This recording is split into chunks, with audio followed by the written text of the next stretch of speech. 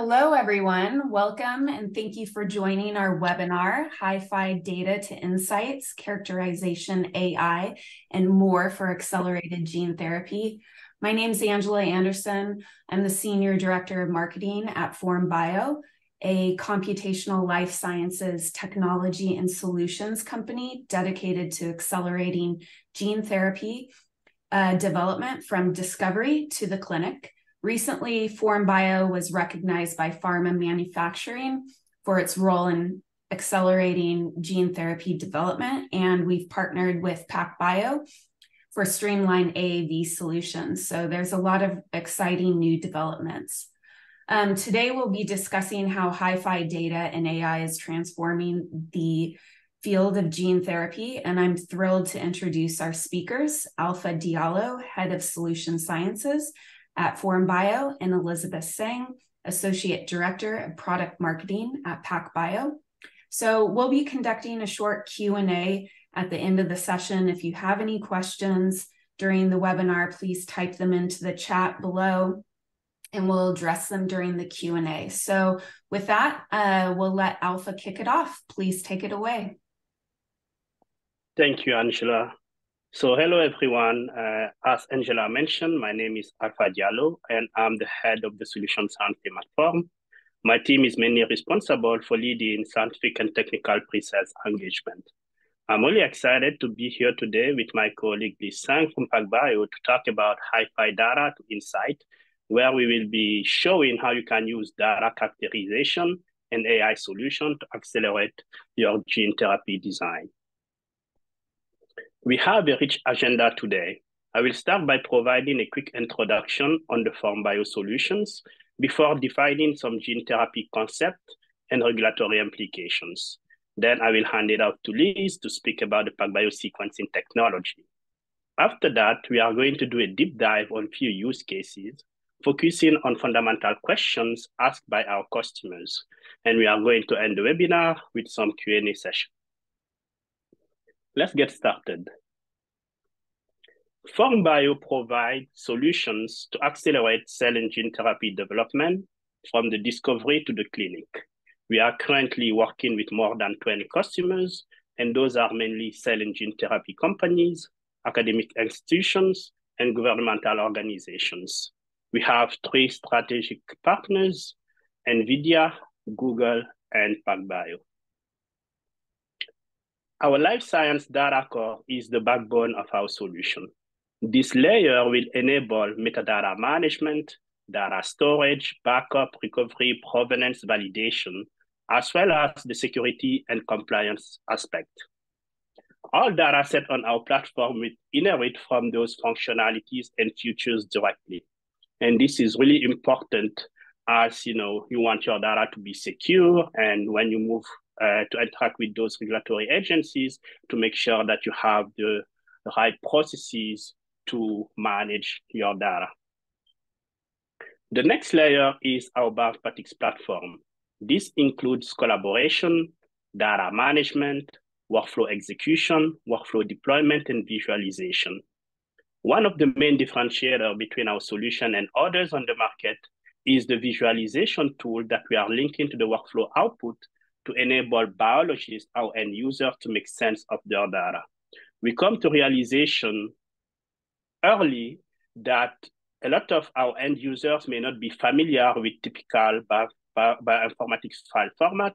So we invested a lot into designing a solution that is intuitive to run those end-to-end -end workflows and then focus on the visualization aspect to provide to the biologists, uh, the vector design folks that we are working with, the right tool to ask questions, slice and dice the data, and understand those results.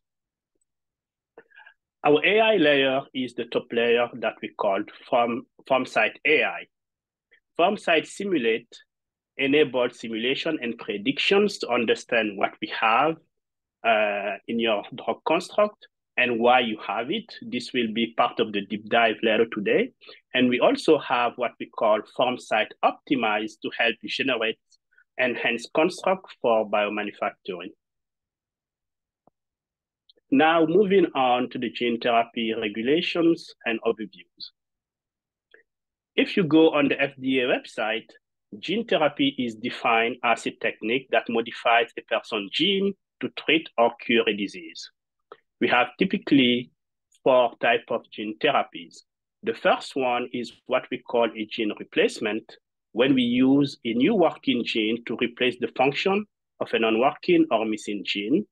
We have a gene addition when we introduce a new gene into the body to target a specific aspect of what causes a disease. A gene editing when we correct mutation in a gene that is causing a disease. And what we call a gene inhibition when we deactivate or silence the expression of a mutated gene that code for a toxic protein or sometimes is coding for too much of a protein. For gene therapy to work, we need to deliver the therapeutic payload into specific cells by using what we call delivery vectors. We have mainly two types of vectors, the viral vectors and the non-viral vectors. In this example, we have the nanoparticle, which is a non-viral vectors. In gene therapy, viral vectors have been used predominantly, and that's because viruses through evolution become really good at infecting human cells. And what's happening is we are able to remove all the viral gene, replace them with the therapeutic that you want to deliver into those cells, into the body, and then let nature uh, do its work and go and infect those different cells. So selecting the right vectors is very important and uh, since they may have different characteristics. So one of them is the immunogenicity level that uh, you will have based on the vector, the transduction and packaging. This is more about the size of your payload. So based on the size, you may not be able to use some of them, such as the AAV limited at 5 kb or more exactly 4.7 kb. And you can also look at the expression long term as well as the genomic integrations as other type of consideration. Lastly, some of those have been used in clinical trials. So reusing vectors that have been already tried into the clinic is easier than bringing new one that may require more time, time and interaction with the regulatory agencies such as the FDA.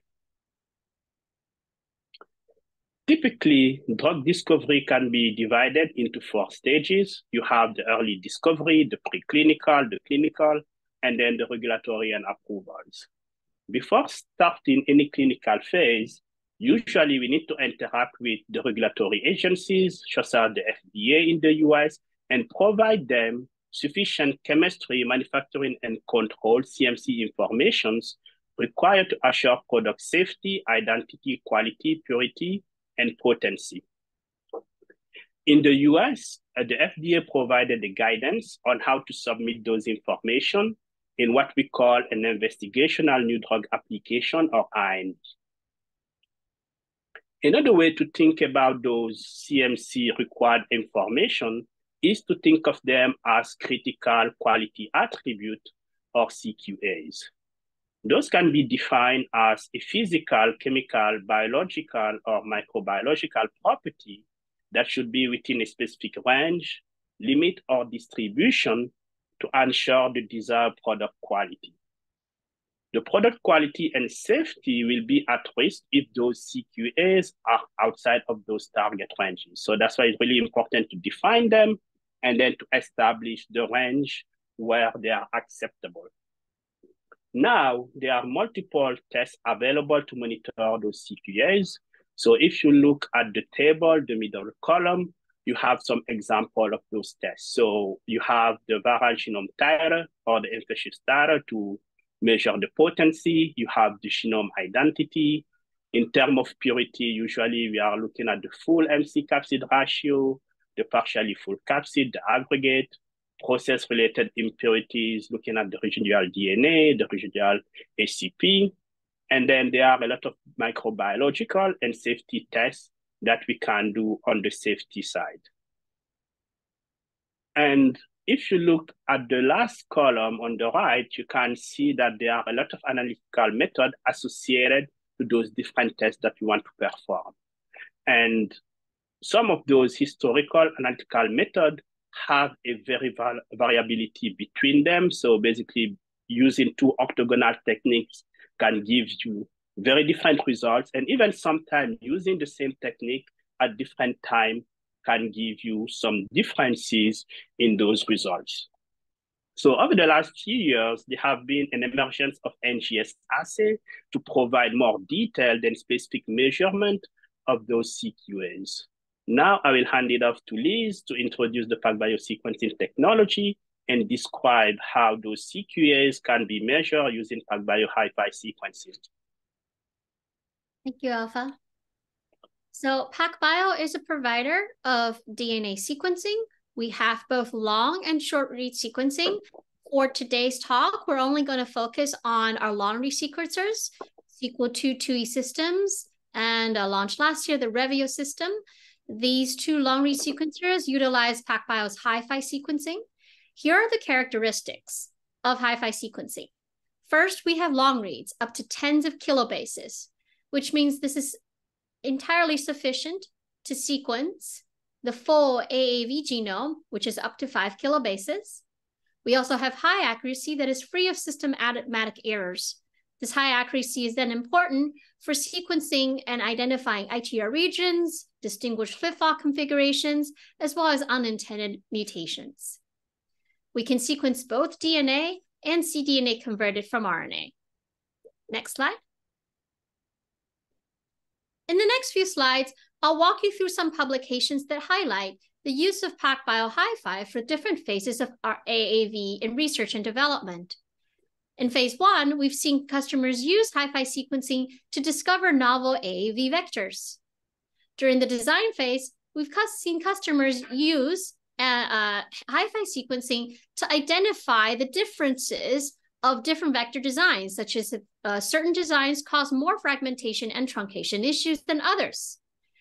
And third, while not discussed today, customers have also used HiFi sequencing to sequence the mRNA to identify if the desired transcript isoforms are actually expressed in the cell. Oh, sorry, one more, uh, going back, one more, please.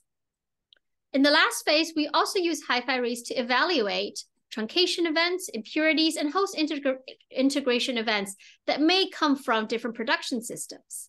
So now let's walk through the publications.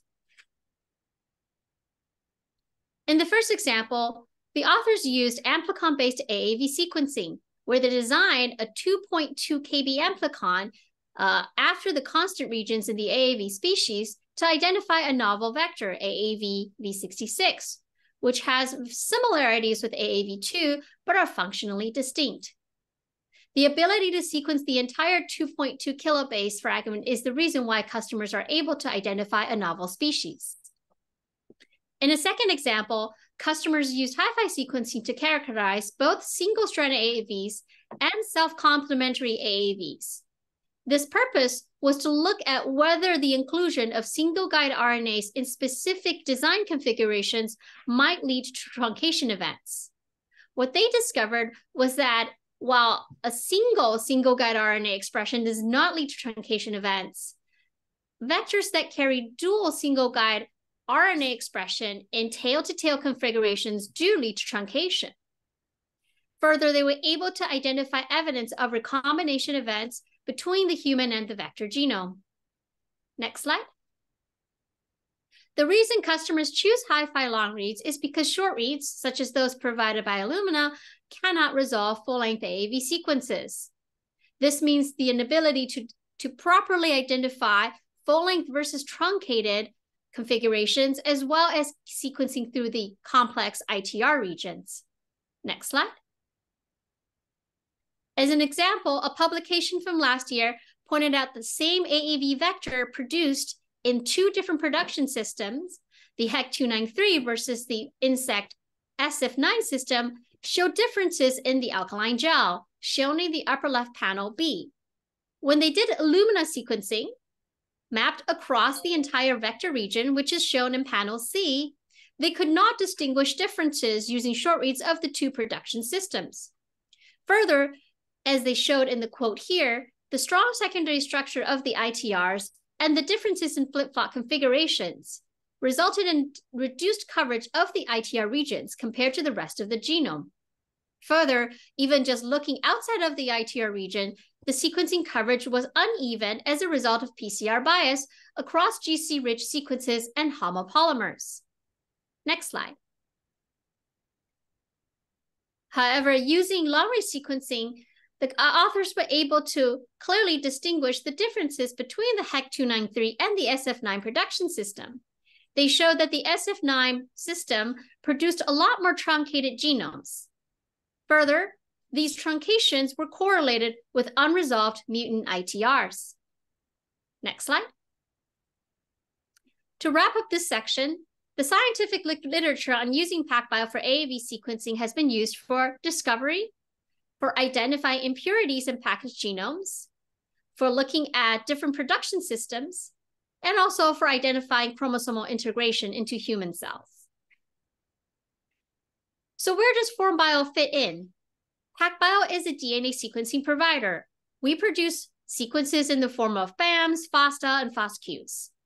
However, for secondary and tertiary analysis, to reveal insights of what these sequences mean for your vector design, we rely on our computational partner, FormBio, an all-in-one computational cloud platform.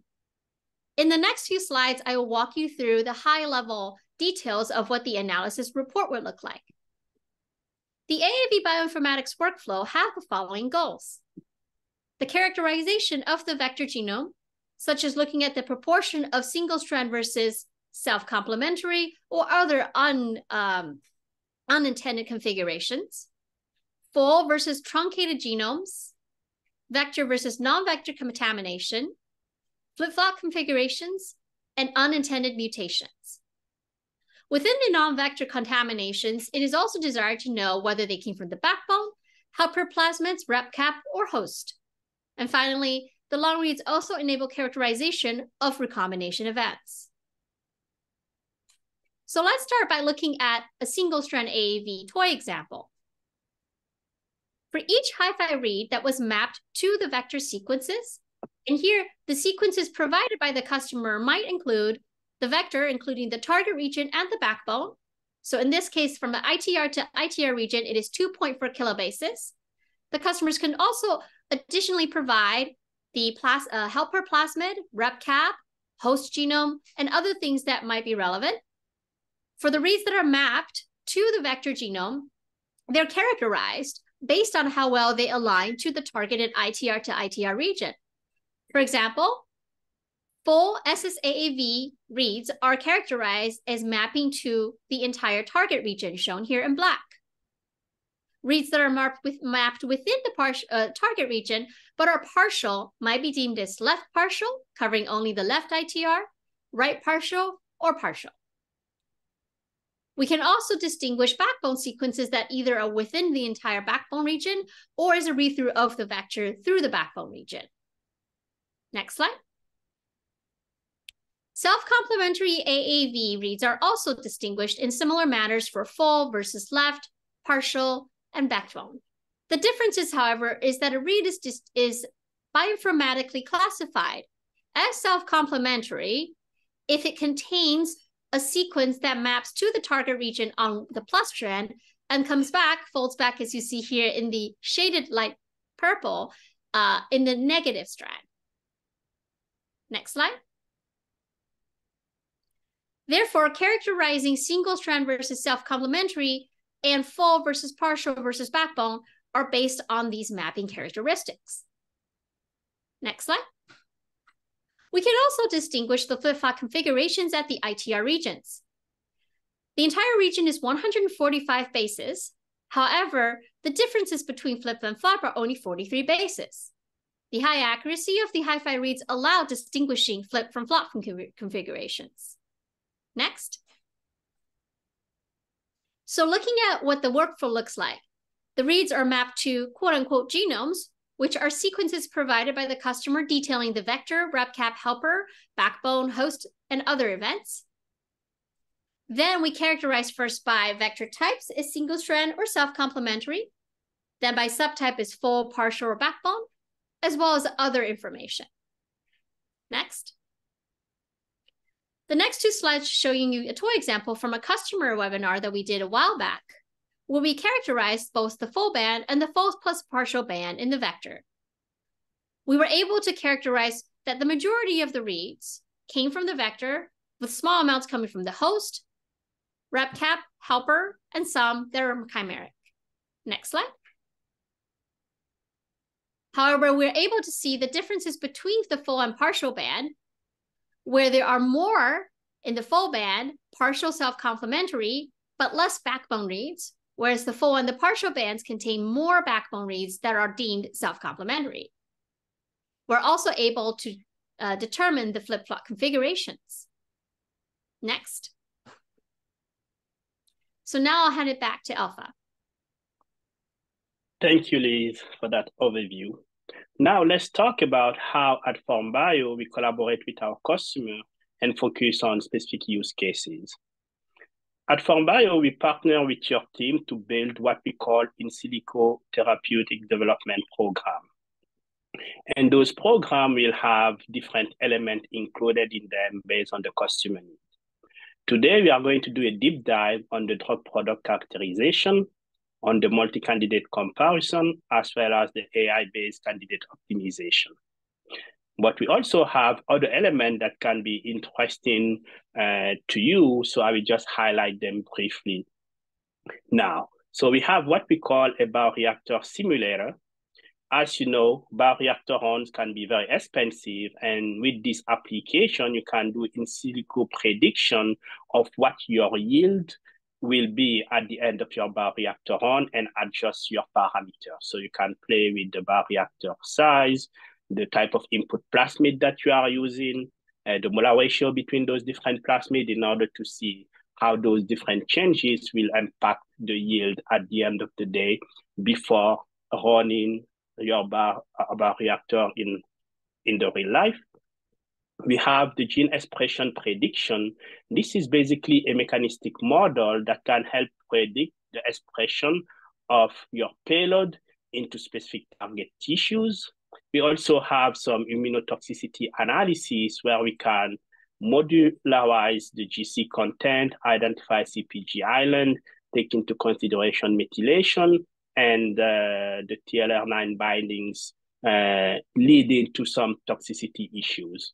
And if you have questions about those uh, other solutions that we have, feel free to reach out to the FormBio team later on. I also want to mention that with all those different predictions that we are doing for our customers, it's really important to collaborate with them to do a wet lab validation. So we are providing them hypotheses, and those hypotheses will be taken into the lab, and then we are collaborating closely with them to run those validations. Most of the validation have been done with our customers, but we have partners and academia and CDMOs to run those validation if the customer is not able to do them. So the first use case is what's in your drug product? This is a fundamental question basically asked by all of our gene therapy customers. They want to have a deep understanding of what in the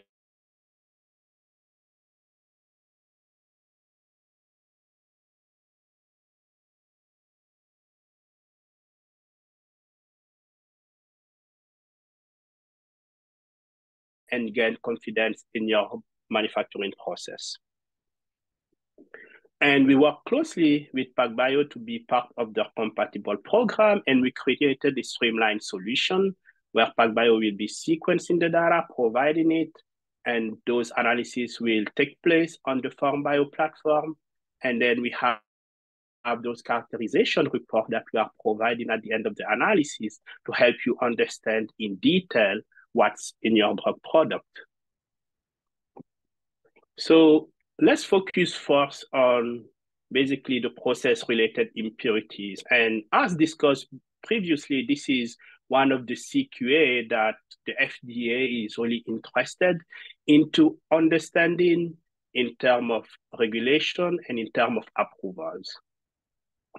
So as an input of the workflow, uh, you can provide all the plasmid that you use during your manufacturing process, and those information will be used to compute the contamination. In this example, this example was manufactured using the cell line HEC 293, So we are using the human genome as the host genome for the contamination. So if you look at the results at the top, they are divided into assigned type. Those will be the type of AAV, either self-complementary or single-stranded based on the definition that Liz presented previously, as well as any type of contamination that we were able to detect. And then you have the count, meaning the total number of reads linked to that specific assigned type, as well as the frequency. So by looking at this and then looking at the second row, you can highlight a really high level of host contamination. And usually this will be a direct red flag because we are not expecting as many reads aligning to the host genome. So there is basically something problematic happening uh, during the manufacturing process with that type of contamination. This example is also a single-stranded library, so we have a really high amount of self-comp that have been detected. So by seeing that other red flag, we can run in-depth analysis into understanding why those are self-comp, where is it happening, are they linked to truncation hotspot, are they linked to snapback genomes, and other hypotheses that can help you understand why we have those high uh, frequencies there. And you can see the amount of contamination with the helper plasmid at around 2%, the red cap almost a half a percent. So if we zoom in in the AAV population, you can see the distribution of the AAV type as well as the AAV subtypes. So if you look at those two tables, we have the total frequency that will include uh, the frequency of any contamination that we detected during the analysis and only the AAV frequency as well. Those will be the two columns on the right side. And if you zoom in on the AAV type, you have the amount of full, meaning the read spanning from ITR to ITR. Those will be uh, considered fully therapeutic drug or full AAV genome. We have the left and right partials, the partials, the backbone, as well as the vector and backbone considered as read-through, where basically the read will originate from the vector and uh, go into the backbone. And the information that I'm showing here will basically align with the genome identity critical quality attribute uh, that we discussed previously. Based on that contamination, a next step is to zoom in to understand where those contaminations are happening and it, it identify which chromosomes are linked to those contaminations. So in this example, you can see a lot of contamination happening on chromosome one and two, and that may be normal because they are the biggest chromosomes. Uh, and then the probability of mapping to those will be higher.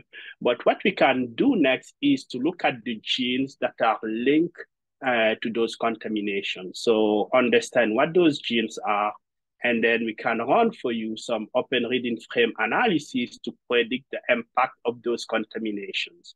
Because what we want to do here is to mitigate the risk of those genes expressing as part of your drug product. So when we detect those open reading frame, you know, there may be some risk that those genes may express and create some adverse event uh, with your drug product. So those are the type of downstream analysis that we can also provide to have a better understanding on that impact here. And we can also look at the flip-flop configuration in terms of flip-flop happening within the self-complementary AAV as well as the single-stranded AAV. So all those different combinations will be the flip-flip, the flip-flop, flop-flop, and flop-flip, and should have approximately similar frequencies. So if you see a huge variability because, uh, between those different configuration frequencies, that can also be another flag that may require a downstream analysis to understand why those type of things are happening. So this complete basically uh, the characterization overview. So hopefully those different metrics are very useful. We are also working with some key opinion leaders to define the most important metric that those type of uh, reports should be highlighting and continuously uh, improving that collaboration with PacBio to make sure that we include all the information required by the customer moving toward uh, an NDA submission. The next use case is to help narrow down potential cost of design.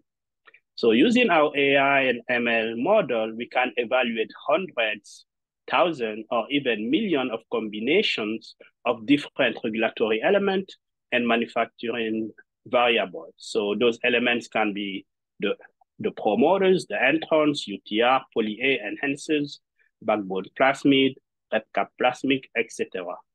And the main goal of this evaluation is to rank those different combinations in silico eh, and identify the candidate most likely to succeed in the lab. So rather than our customers starting with those hundred different possibilities, we'll be give them a handful of options in order to make it easier for them to test in the lab and also very cost effective.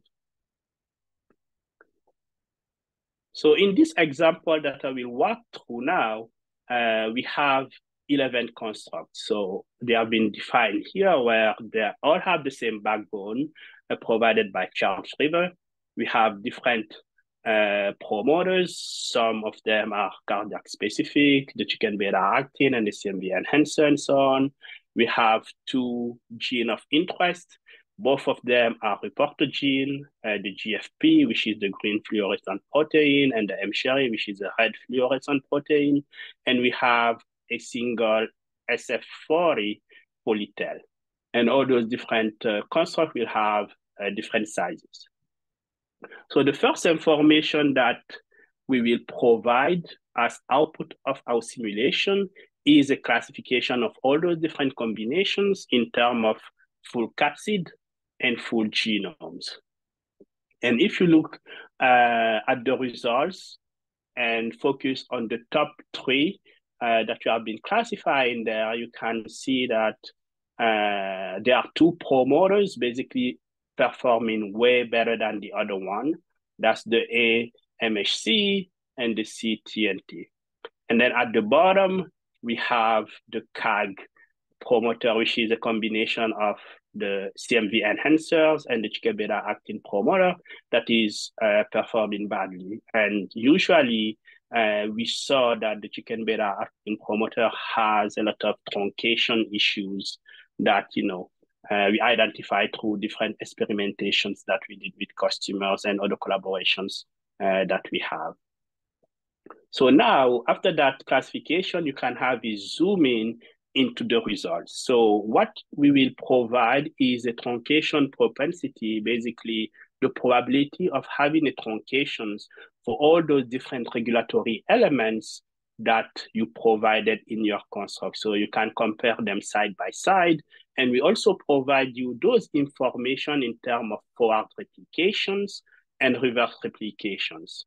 You should note that the truncation profile is basically different based on the strand uh, where the replication is happening. And that's very important. And if you look at uh, the poly-A results at the bottom here, you may thought that since we have been using the same poly-A SV40 for all the different constructs, uh, they should all have exactly the same results, but actually that's not the case. What we realize is a lot of those estimations are context, nucleotide context specific, and it's not just a matter of basically replacing those regulatory elements, it's also understanding the impact of the construct as a whole, leading to those truncations. Let's discuss of a customer-specific use case about a problematic cost, uh, problematic promoter and how usually we will help provide clarity on what's happening here. So working with one of our customers early on, uh, we identified that the original construct, uh, the construct on the left side here, had a lot of issues in the promoter region. So if you focus on those two images on the left and the right, the right is the original indication, uh, the left is the original indication, and the right is uh, the indication where we switch the promoter. And then at the top, you have uh, the probability of having secondary or tertiary structures. And at the bottom, you have the truncation propensity in a logarithmic scale. So the higher the dot, the higher uh, the probability of having a truncation. So if you focus on the promoter region here, you can see basically a peak at around 1600, leading to a lot of truncation, but you can also see another peak around 20 or 2100 without any uh, truncation detected. And this is uh, normal because what we realize is not all the secondary structure are problematic. Some of them will increase your truncations, but others will be involved into creating more stability inside your construct. So there is no a one-to-one correlation having structures leading to truncation now. So our model is able to identify which type of secondary structures will be leading to truncation and which secondary and tertiary structure will be helping with the stability of the construct. So what we did here is to replace this promoter that was the chicken beta actin promoter that I said previously is linked to a lot of secondary structure and truncation with the smaller jet promoter. And the impact of this can be seen where basically the truncation propensity is lowering drastically. So with those type of use cases, we can come and in silico really recommend, uh, you know, promoters that we believe will be more uh, manufacturable. And on top of that, run any type of gene expression analysis, immunotoxicity analysis as needed. So now let's talk about enhancing your gene of interest. So in a lot of circumstances, even after selecting the best combination of your regulatory element, what we have been seeing is the CDS region is still the main source of those truncations. And basically, you cannot just come and substitute that CDS region because you are looking for a specific indication. Usually, those are specific genes with specific mutations that basically you would like to correct. So there is no replacement possible there. So what you can do is to find ways to enhance uh, your gene of interest. So in our model, we have a way to apply it and have multiple objectives that we want to accomplish during that single optimization. So this is really different than a codon optimization that we may be familiar with. So we are doing a construct optimization with multiple goals. So the goals that we are setting in our AI model is to lower the truncation propensity, to improve the manufacturability, to optimize the gene expression, and also lower all the immunogenicity flags. So all those different considerations will be taken into creating a new uh, gene of interest coding exactly for the same protein. And usually by uh, applying that method, we are able to create some new IP or create some derivative IP that our customers can use uh, for your uh, drug product. And this is an example on how that will look like. So similarly to the previous graph that I showed you, you will have all the secondary and tertiary features, probability at the top, and those are between uh, zero and one in terms of probability. And then at the bottom, you have the logarithmic scale again of the truncation propensities. You have in blue the original construct, and then you have in orange the new uh, GOI that we recommended exactly coding for the same amino acid. And with this specific optimization, we were able to reduce the truncations in the CDS region by 70%. And that led to an increase of a full AAV genome by 18%, which is not negligible. So during this webinar, we did few things. So we were able to introduce the CQAs required for IND submission and presented how next generation sequencing can help measure them. We presented the PacBio long read sequencing technology and showed how HiFi can help reveal AAV vector genome heterogeneity with high resolution. We also highlighted how our gene therapy customers at FormBio are using our solutions to accelerate their program with a deep dive on the drug product characterization, multi-candidate comparison, as well as the AI-based candidate optimization. Thank you for your time and for your attention. We are looking forward to answering your questions. Yeah, thank you, Alpha. Thank you, Elizabeth. Um, if you have any questions, please type them in the chat right now. We do have a, a few that have already come in. Um, so this question goes to Alpha. Um, do you support your client bringing their own workflows on your platform? That's a good question. So on our platform, we have validated, optimized workflow, uh, and that work is done by our bioinformatics team.